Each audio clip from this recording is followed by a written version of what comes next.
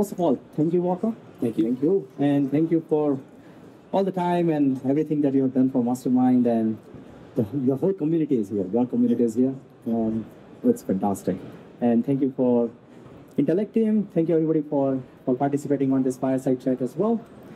And we'll, we'll definitely open up a lot more questions and more discussions around it.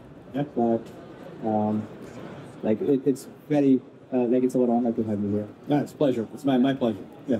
Okay, so let's let's kickstart the discussion again. I don't want to go into litmus UNS just yet, but looking at Messe right now, Yeah.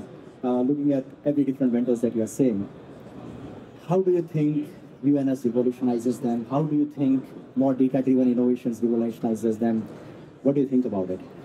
So uh, there's three primary observations I've made. So I've only walked the floor a, a little bit because I've been in a lot of meetings. But um, number one, it's really surprising how far behind um, the European Union is in digital transformation. Uh, all due respect, but coming from the states, um, it's almost as if uh, in the EU they're trying to over-engineer digital solutions, and rather than starting with the problem and you know just getting started and iterating, um, it's almost as if they're they're trying to over-engineer, and I and I see that in a lot of the products. Um, as it relates to UNS, obviously unified namespace is everywhere. Everyone's got it on their booth, and I do just go up and ask people what is UNS. If they've got it there, I'll just ask them, "Hey, what is unified namespace?" Um, most of the people here get it right, so that means um, there are a couple of people who couldn't answer the question. But most of the vendors, if you see UNS, I mean, they're they they understand what it is. Okay. Um, and then the last thing is just the sheer number of people, like how the message, Yeah. you know, what it is that we've been trying to convey to industry for, since 2018, how that's spread all over the world is, it's really overwhelming. I mean, um, yeah, it's, I, I mean, I'm an introvert by nature. I know it's hard to believe. Like, I, I'm only in front of the camera because humility is one of our core values. And humility is knowing what you're good at and what you're not good at. And I know that I'm good in front of a camera and that I'm a good speaker. And so therefore it's my responsibility to spread the message. But it was very uncomfortable for me um, to be on stage. It's not normal for me. I put a put on a brave face. And when you know the, all the people, I mean, I, we've had, I, I mean, hundreds of people have stopped and say hi and tell their story, and it's overwhelming. It really, it, it's it, the, the community that's been built is it's profound. It really, it it it, uh, it moves me to tears almost, honestly, because this whole mission started out by trying to save and create middle class jobs and the unified namespace, that architecture that I first started trying to develop in 2003 and implemented in 2005, that was to solve my own problem. It wasn't, it was, I work in a salt mine.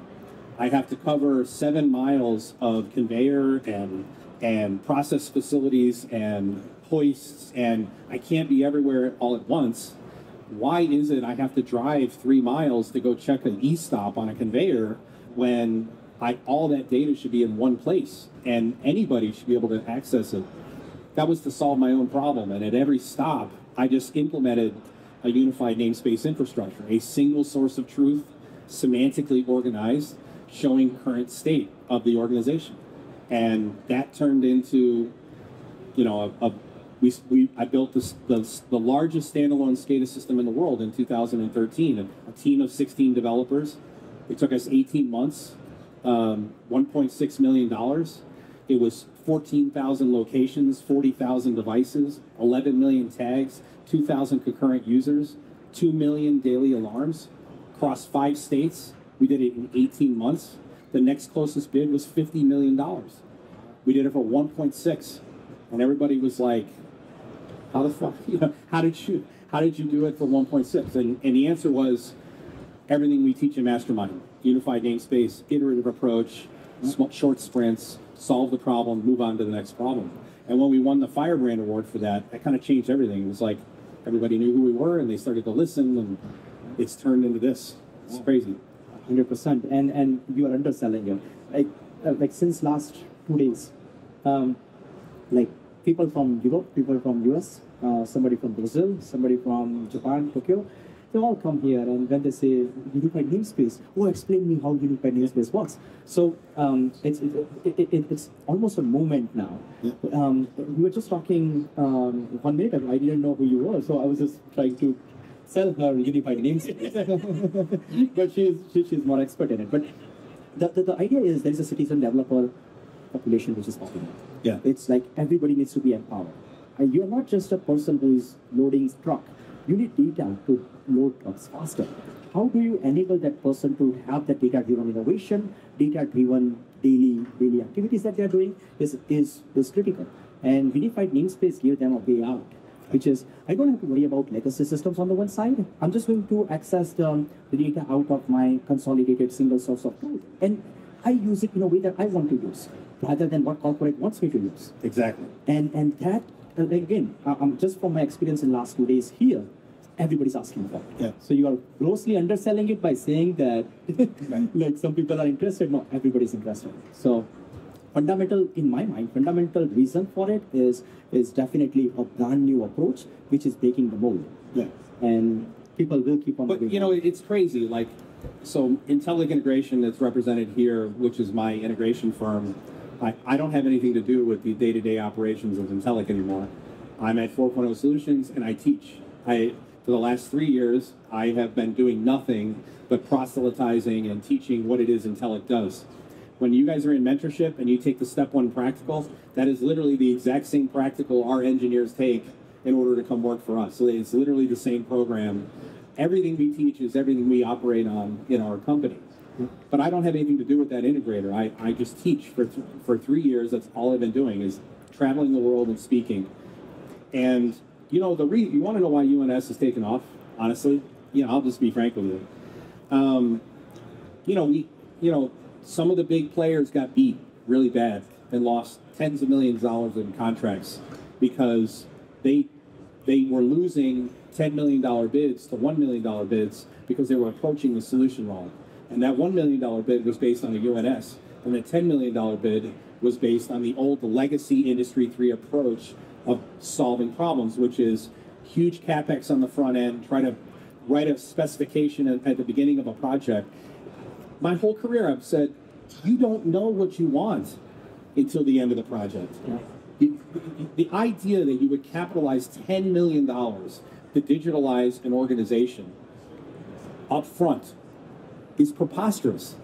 You do not know, you don't know enough to sign a check for $10 million. But what we've always said was start with a 12 week proof of concept.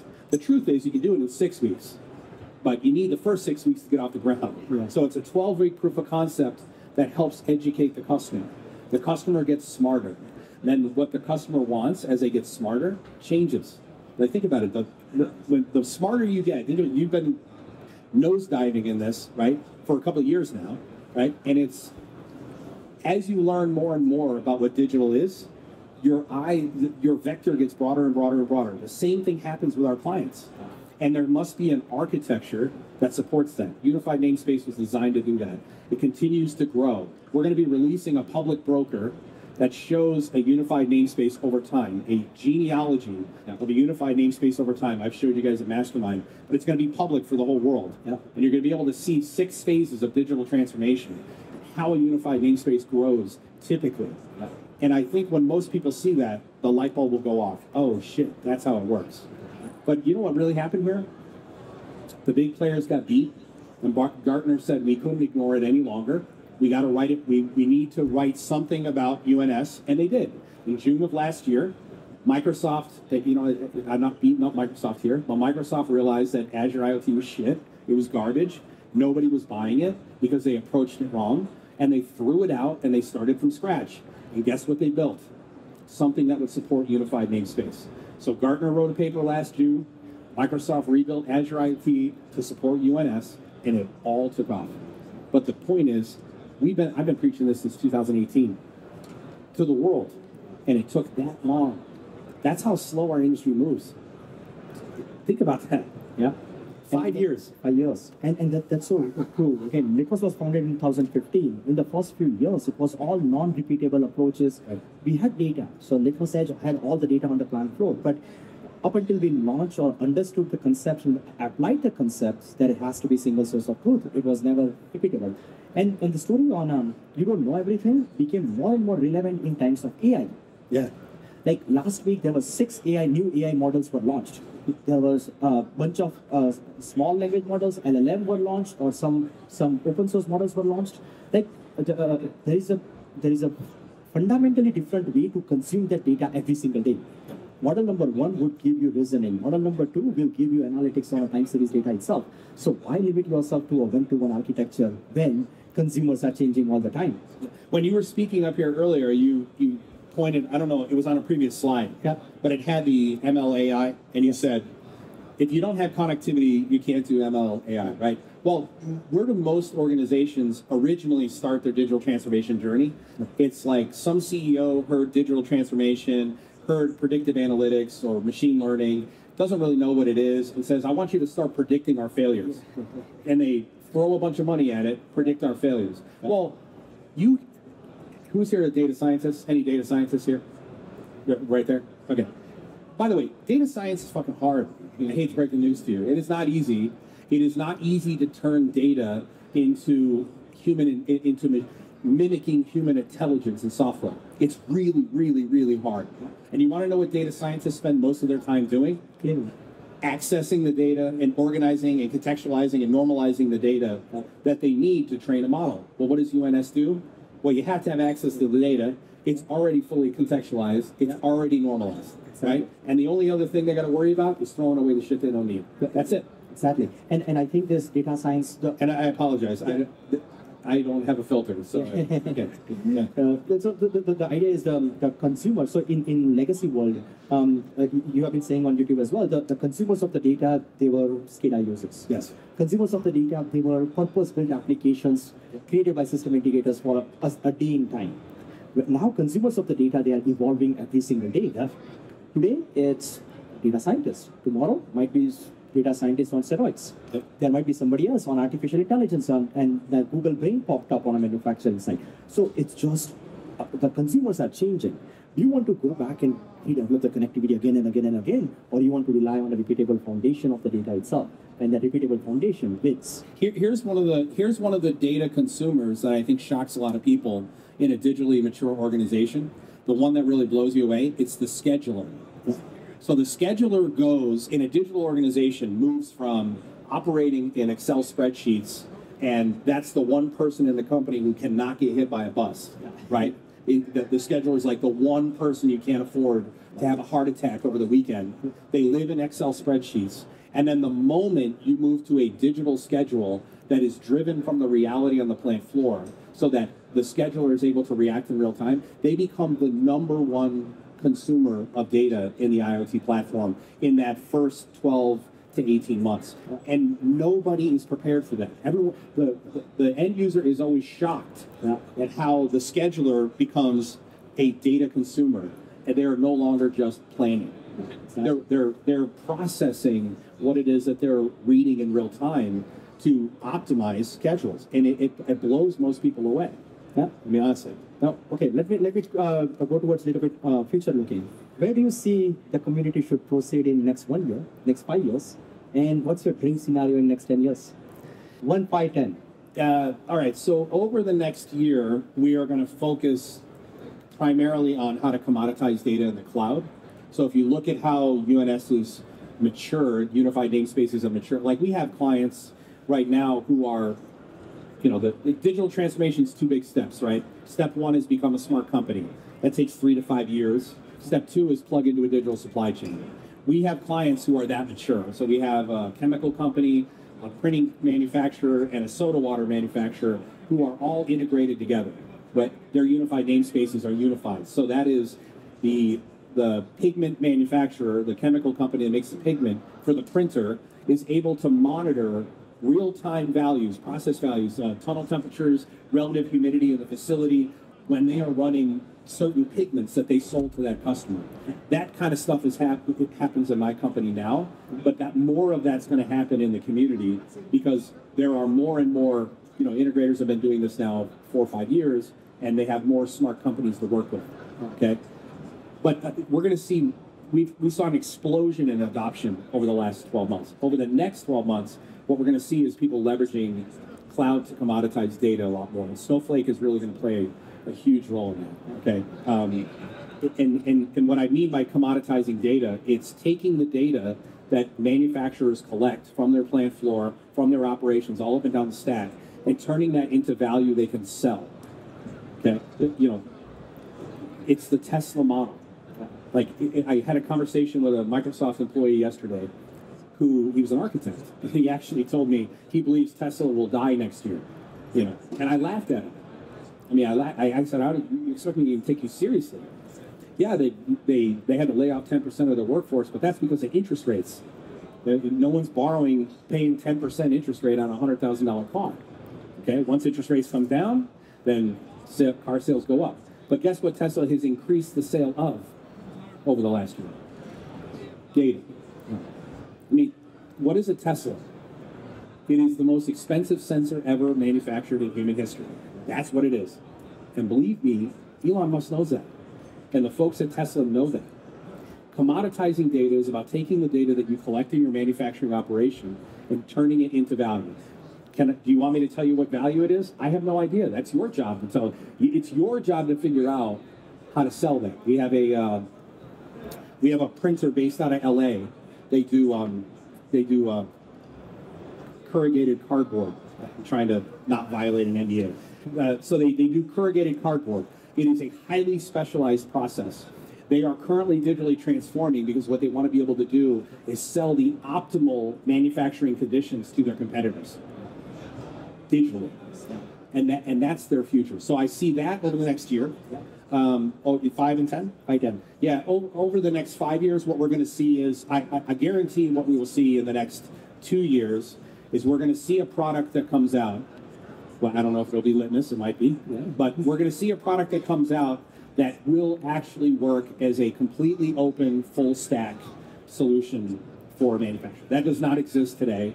There is no complete full stack open solution, and I do believe we'll see that in the next two years. It, it may be UMH in, in, in conjunction with HiveMQ, in conjunction with HighByte, or it may be something like Litmus, right?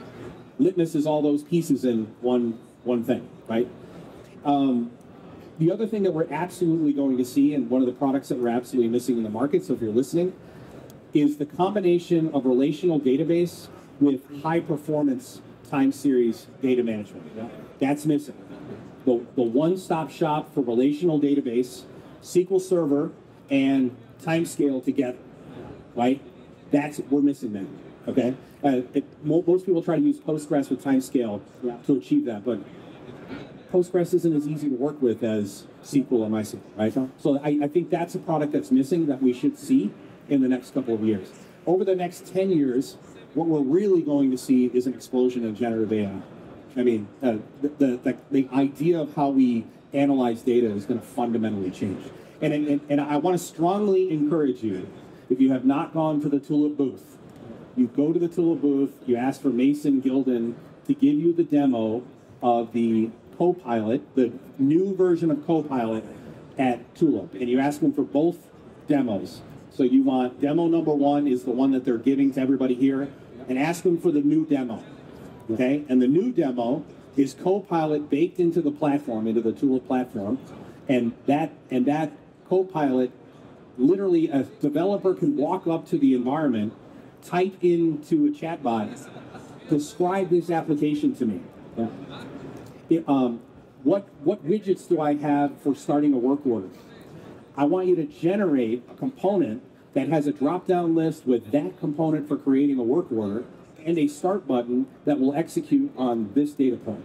And it will literally generate it and you can drag it on a screen. Now that's all alpha, initial, it's not production ready, yep. but that's the future. You're going to see it in, in Litmus's platform for sure. I have absolutely no doubt about it. That's going to be the big play. The big play is going to be the impact of generative AI as a lever for all of us. Let me say this about AI there's a lot of hype around AI, right? AI is not going to replace people. AI is going to make super people. Industry 5, which we are in the fifth industrial revolution right now, and mark my words, we will trace it all the way back to, no, to November of 2022. The fifth industrial revolution started in November 2022. Okay? It started. It is the convergence of human and artificial intelligence. And it's already begun. Yeah. Okay? And and and if you don't believe me, if you don't believe me, I want you to just grab a really smart kid who got 1400 or higher on his SATs. I want you to bring him to your organization. I want you to give him nothing but a, a ChatGPT chatbot and and your IIoT platform and give him no direction. John McKeon, by the way, is John McKeon here? From GIS? He's already doing this shit. It's great. When we had dinner with him the other night and how he's recruiting new Yeah. new new developers. Yeah. And kids straight off the street based on nothing but aptitude and tools, and he's turning them in one year into five year senior engineers. Wow. One year. Yeah. That's what that's the power of AI. That's definitely augmenting it. Uh, Tulip will be presenting at Litmus booth as well. I don't know the exact schedule, but do stop by. Um, we'll be exploring how unified namespace is empowering those applications. Um, again, once the repeatability is there in terms of data foundation that we are doing with Litmus Edge, or once the data is available in unified namespace, creating artificial intelligence-driven applications like that, it's just mind-blowing Yeah. even if it's an alpha, it's just we are seeing evolution right in front of us our eyes right now. It's Yeah. like generate those apps. Um, in terms of um, like, what do you like? Uh, how would you guide some of the legacy vendors right here?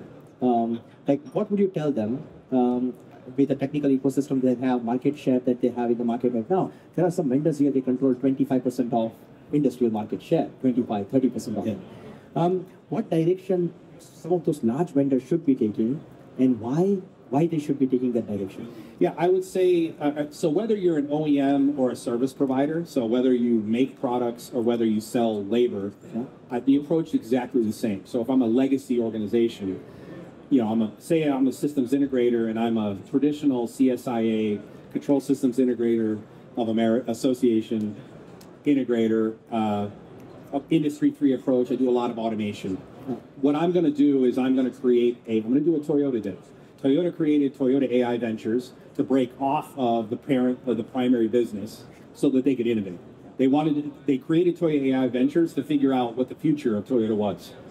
You need to do the same thing. You need to decouple the future from the present because the present is a function of the past.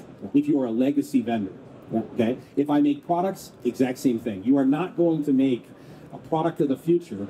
If you're a 40 year old company, you are not going to make a product of the future uh, operating the way that you've operated for the last 40 years. Op- what Opto 22 did, right? Opto 22 has been around 50 something years. What they did by fundamentally redefining their product lineup with the groov EPIC is unheard of in our industry. That never happens. That is always some subsidiary, some breakoff. So the approach should be I'm going to invest a little bit of capital in innovation in a separate unit, and it's going to be my change agents, my disruptive leaders, my transformative leaders.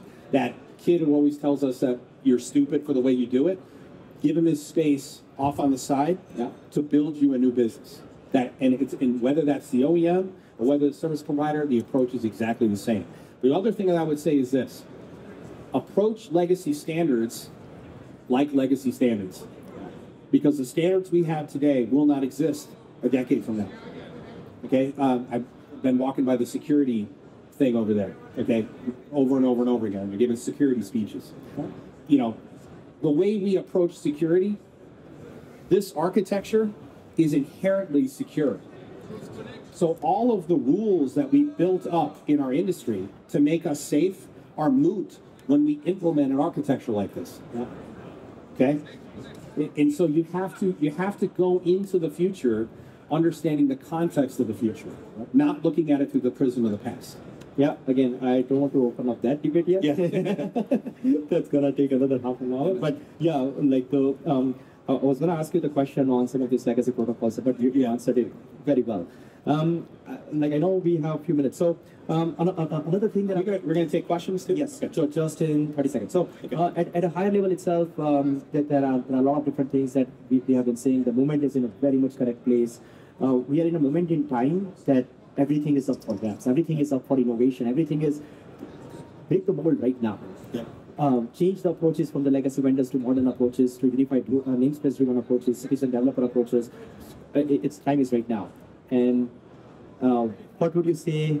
This last question. What would you say to somebody who graduated yesterday? Say that one more time. Somebody who graduated yesterday and as an industrial engineer, what If you graduated yesterday, uh, I would. If you graduated yesterday, you're already you're already digitally fluent, Yeah. but you have no skills, right? So the kids are coming out of high school right now. You know, I'm, I turned 50 this last week, right? And I happen to be digitally fluent because it's my job. But if I wasn't in the job of being digitally fluent, I would I wouldn't be digitally fluent compared to 18, 19 year old kids. Uh, over at AWS, they did a uh, they they presented on a, a UNS case study today. What was the name of the company again? Gusto. UK. What is it? Gusto. Gusto. So you you were there, right? I, I the AWS rep was sitting next to me, and I and I was going, how the hell did Gusto pull this off in UK?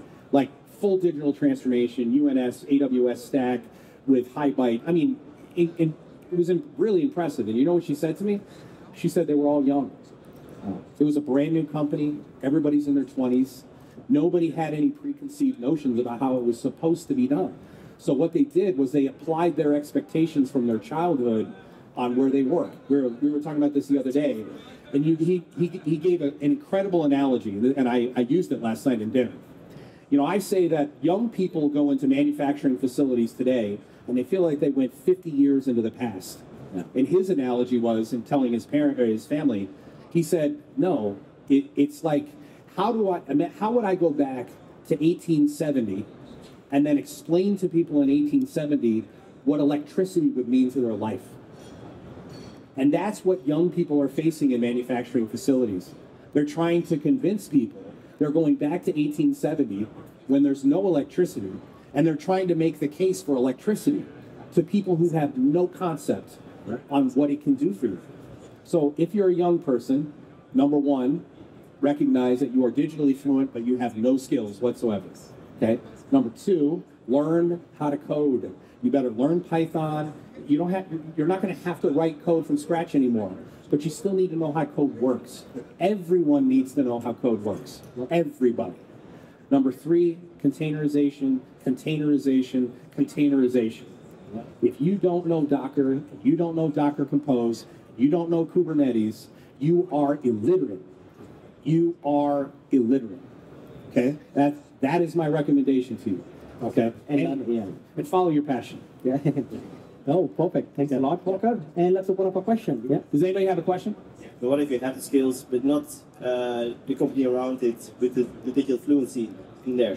So if you work for a company that is not digitally fluent, Yeah. cha- I, nobody ever likes this answer. Mm-hmm. Okay, change jobs. Right. If, if you're in an organization who doesn't get it, change jobs. If it means you got to move, you got to move. Okay. I, nobody ever likes that answer. But do not languish in an organization that is going to die do not languish in an organization that is going to die. And let me say this: what you could do, and we've done this. You am I allowed to mention the? No. Okay. Uh, so I, I'll I'll quickly tell you this: there was a there was a large tier one automotive supplier, one of the largest in the world, second largest in the world. They're a subsidiary theirs had fifty thousand employees, no digital fluency. They came to us and asked us to train them in an enterprise training program. And so we trained literally, we I think in four different languages. We did like eight modules teaching digital fluency to the whole organization. 50,000 people, including how their jobs would change. And then the parent company, which has like 150,000 employees, said, holy shit, that really transformed how the organization, just education. Industry 4, digital transformation starts with education right? If you're if you happen to be the organization that's already got people who are highly digitally fluent, you don't have to teach. But the most organizations have to teach. So what I would say is is if you can educate your employer, you can do it this way. Ask them what their digital strategy is. Go to the highest ranking person that you can talk to and say, "What is our digital strategy?" And when they say, "What is that?" you say, "It is a three-sentence statement that says why data is our primary commodity." And if they look at you with a deer in headlights, run. Go get it out. Nobody ever likes that answer, but it, it is the answer. Yeah. Thank you. And You're what, what I would, I would uh, briefly add is, um, like Litmus as a company, we have been fortunate enough to work with those type of uh, leaders itself. Like the CIO's team, uh, they treat their data as a as a next asset. is data is an asset. If you talk to those leaders, leaders, they, they're like, I need the data right now. What do I need it for? Everything. Yeah. Uh, if you if you're talking with if you're working with that person, um, opportunities are countless. If data they, they want to go back to pen and paper all the time, then none of these things that we are talking or walk around and whatever we're talking is completely useless. Run. And let's say you have, let's say there's a champion internally. There's a small contingent who gets it. Okay. So then the question is, where do you start? Yeah. And the answer is, you make a team out of that small contingent. You pick one specific business problem. You define a strategy, an architecture, minimum technical requirements. You get yourself an IIoT platform, and you solve that business problem. And then, as a team, you go to the rest of the business and go, "Do you want this?" And if they say yes, then you know you're on the right track and they will give you the money to scale. But if there's nobody there, you're wasting your time. And if you're a young person and you're saying, I'm just the one guy, how do I do this? The answer is solve your problems digitally. Your peers will see that you are more efficient, that you are, this is how my career was built. Every engineer, I worked in engineering groups, I would build the ecosystem I needed to make my job easier, and it made them look bad. And then they wanted to do whatever it is I did. Where did you get that? I want that too. And then my supervisor wanted it. It spreads like a, not a disease, but you know, like a smile. Spreads like a. There you go. Yeah, and and um, like just last month, um, our VP of Customer Success, Mark Necker, he was here as well. He, he he gave me one of the like very fantastic statistics. So every person who used Litmus Edge in only in their career, uh, they got promoted to Industry 4.0 head. There is a 4.5 out of 5% criteria right now. It's like 90% people. Why? I, I say I can't I can't tell you the number of VPs I've made from engineer to VP, yeah. like jumping three levels, four levels, because you become the de facto expert. And let, let me say one other thing before we, we finish. Yeah. We do a digital transformation maturity assessment that we built. And that maturity assessment is based on 10 industry four pillars. Okay? How did we build that mechanism to score organizations on their digital maturity? We started with Tesla and we reverse engineered them. We started with Amazon and we reverse engineered them. We started with Volkswagen North America and we reverse engineered them and we combined it together. Why? Because they're the three most digitally mature companies on the planet. By the way, Volkswagen North America is more digitally mature than Apple is. And the reason why is because Apple has not digitally integrated to their suppliers in China. Okay, that's the reason. That's the fundamental difference. Do you know when we do that digital transformation maturity assessment, what the when we ask people what are you good at, what are you bad at, and what is missing? That you know what 91% of the respondents say what is missing? 91%, there are 1,400 companies in that survey, 10,000 individual surveys. 91% gave the same answer of what's missing. Does anybody know what it is? Access to the data they need to do their job. 91%. If I'm a supervisor, it's I have no vision, I have no visibility into current state. I got to walk the plant floor to see which machines are running, which ones aren't. If I'm the general manager, I have no idea where I am relative to plan. If it's the quality people, I have no idea when my next sample is up. If, if it's the guy who works in the lab, it's I have no idea when I'm supposed to take, I'm supposed to, to provide the next report. The, the answer, the fundamental problem that everyone is facing is access to the data they need. And if you want to know where you get the data that they need? All the Excel spreadsheets that they've built to do their jobs. And so when you are talking internally, ask people for their spreadsheets. Those spreadsheets will tell you what the problems are. Okay, one more question. Yeah. Hi, Walker. Um, Jacek uh, from Fanuc. Uh, I believe, uh, I think I, I sourced it from you that um, successful IoT transformation um depends on the engagement of the, all the people in the plant. Um I agree, completely agree with that.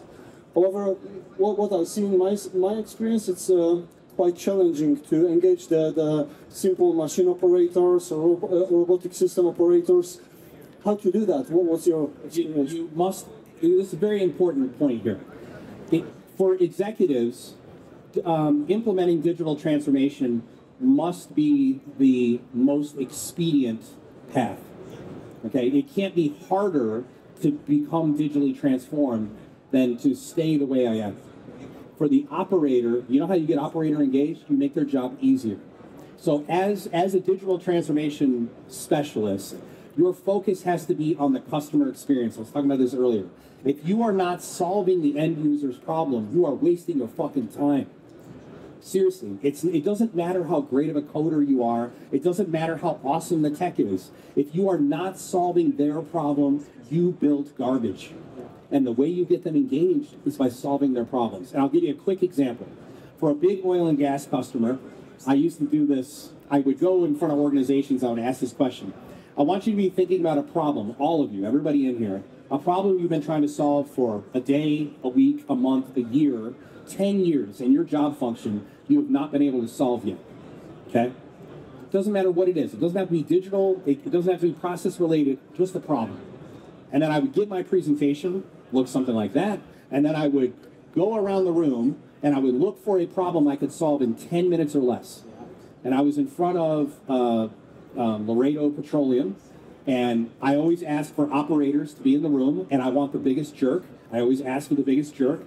I, ask for the caveman, the citizen against virtually everything, the one who's going to say I'm an idiot. And and I and this I get to this guy in a room and I say, "What's your problem?" And he goes, "You know, we have all this fancy tech, you know, and everybody spends all this money on this fancy tech, and I get these text messages in the middle of the night that I got a high tank alarm out in the middle of East Bumfuck, New Jersey, and he's like, and I got to eh, dispatch a pumper out there and pay double time because it's a Sunday night uh, for a high tank alarm. And that guy goes out there and he tells me, you know what, buddy? The, the fluid was flowing in there slow, so slow, I could have gone out there two days from now. He goes, I don't need to know if I have a high tank alarm. I need to know how much time I have left in my tank. How many of you, process engineers, controls engineers, create a variable that is time in tank? The answer is hardly anybody. And what we did using Ignition, actually, we used Ignition to quickly write an expression that converted the volume of the tank, inflow, outflow, and the level of the tank into time remaining in the tank. 10 minutes. Solved this problem. He was no longer a caveman. That's how you do it. Yeah. Okay? Thank you. You're welcome. Great. Yeah. Okay. One last question. And And there was one over here. Uh, okay. you pass the mic down? Good. Um, so my question is a, a little bit around network actually. Network. And, um, how important is it in asset visibility and creating a similar concept to UNS um, to define um, like a naming convention for your network? How does that support UNS or how important is that to support UNS? Yeah, obviously, it's critically important. Okay. Um, you don't start with creating a naming convention for your network, okay? Um, because the goal is to not involve IT in the beginning. Okay, so, and, and IT is the one who's going to define the naming convention. The goal is to not involve them. By the way, digital transformation always starts on the plant floor. It always starts in OT, and you always want it to be isolated to OT, and you don't want to involve IT unless you have to. So you want to make sure you're doing something that doesn't require IT's approval, okay? In the proof of concept, only the proof of concept, which is why the case over there with the 5G case is an important game changer because you're basically landing infrastructure on the plant floor IT doesn't own that gives you the ability to solve the problem. But the answer is it's critically important, but it comes down the road. And honestly, in, in most cases, we're not even defining network naming conventions until 18, 24 months in. Yeah. And another thing is, um, uh, like when you when you pick that fight, um, like starting from a network reorganization point of view, um, it becomes like I, I have this CMMS system, or I have this asset management system, I have this hierarchy built out in this uh, four other um, IP IP management system that I have, IT systems that I have. Which one should I use? Why am I supposed to use UNS when I already have this hierarchy built out right here? They'll point to Maximo. My all the network is organized right Well, here. the- And the answer is because Maximo's got an asset ID, the ERP's got an asset ID, the CMMS has got an asset ID. Which asset ID do I use? Yeah. Well, you got to use the one that's a single source of truth in the unified namespace that puts all three of them together. So if we say ERP asset ID is the master ID, now I have to be able to join that ID against the ID in the CMMS. Well, where do I get it from? I get it from the, the unified namespace. Yeah. This, this is the contextualization, the coalescence, and the normalization of all events in your business and the master data models. And when we opened up a private beta like four five months ago for Litmus UNS, uh, first three users that we got, they asked the exact same question. That uh, rather than doing that, can I organize modems and my network switches there? Uh, we were like, okay, interesting question. Why don't you have that right now? But then they said, yes, there are many different things exist, but for the exact reason that I don't have a singular single source of growth right now. And if there's a big question, I, I want to make sure that nobody has a question that they that goes unanswered. One last. Was this valuable? It was valuable. Okay, awesome. That's yeah. Okay. Appreciate you, brother. Thanks a lot. Thank you. Thank you. Appreciate the time and thank you very much everyone for stopping here.